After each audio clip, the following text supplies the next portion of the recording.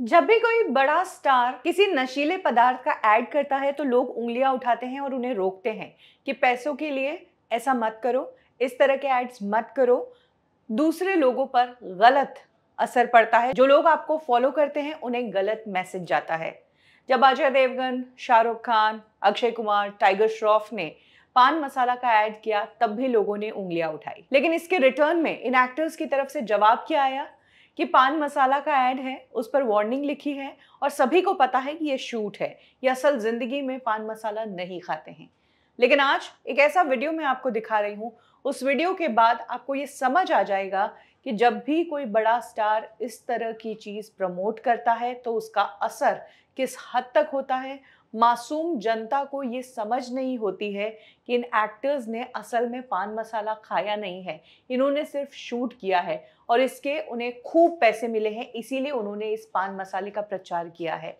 लेकिन मासूम जनता को ये लगता है कि ये एक्टर्स इतने बड़े स्टार्स ये भी पान मसाला खाते हैं।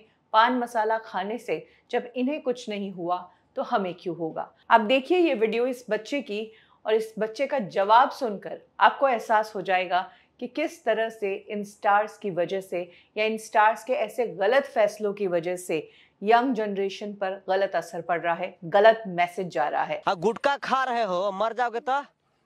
शाहरुख खान मरबे नहीं किया तो हम कैसे मर जाएँगे? शाहरुख खान कैसे मरेगा? वो भी गुटखा खाता है तो। शाहरुख खान गुटखा खाता है? हाँ। कौन बोला है तुमको? प्रचार में देखे हैं। अच्छा प्रचार में देखो। देख लिया आपने? ये बच्चा कह रहा है कि शाहरुख खान को कुछ नहीं हुआ पान मसाला खाने से तो मुझे क्यों होगा? शाहरुख खान ने तो अपना ऐड कर लिया और अपने पैसे ले लिए। लेकिन ये जो नुकसान सोसाइटी का हुआ है, ये जो नुकसान समाज का हुआ है, ये जो नुकसान आने वाली जनरेशन का हुआ है, इस नुकसान की भरपाई कौन करेगा? इसीलिए कहते हैं कि अगर आप बड़े स्टार हो, अगर आप बहुत पॉपुलर हो तो आप किस ब्रांड को चूज़ करते हो, वो आपको सोचना, समझना चाहिए और उसके बाद फैसला लेना चाहिए। सबसे बड़ी बात, वो टीम जो आपके लिए दिन रात काम करती है, वो आपको ऐसे फैसले लेने कैसे देती है?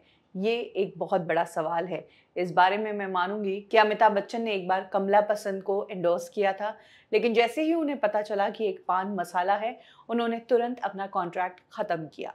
अक्षय कुमार के ऊपर भी काफ़ी प्रेशर रहा तो एक साल तक उन्होंने विमल को एंडोर्स किया और उसके बाद उन्होंने अपना करार तोड़ दिया। लेकिन इधर टाइगर श्रॉफ जो एक तरफ़ फिटनेस की बात करते हैं, जो एक तरफ़ डाइट फ़ूड खाते हैं, जो एक तरफ़ स्ट्रिक्ट डाइट फॉलो करते हैं, वो विमल का ऐड करते नज़र आ रहे हैं। उनकी इमेज के साथ ये ऐड नहीं जा रहा है और इमेज के अलावा उनकी जो पॉपुलैरिटी बढ़ रही है, उसके हिसाब से उन्हें ये ऐड नहीं करना चाहिए था।